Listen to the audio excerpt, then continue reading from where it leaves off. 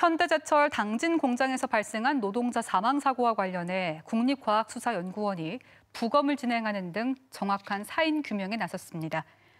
또 이번 사고와 관련해 고용노동부는 현대제철 대표이사를 중대재해처벌법 위반 혐의로 입건했으며 경찰도 안전 책임자 등을 업무상 과실치사로 입건해 수사하고 있습니다.